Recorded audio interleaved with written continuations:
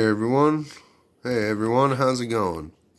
I'm doing well. I hope you are too.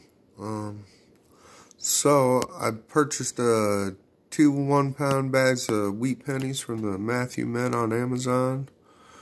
And uh, found some pretty neat ones in here from uh, 1919 all the way through 1938. But uh got a 1929D and uh, 1929S.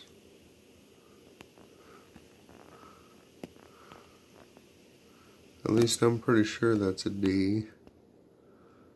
Um, the rest of these I don't believe have any mint marks. But, uh, very cool.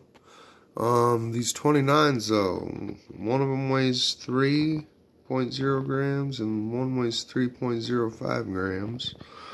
And uh, there's some very shiny pennies.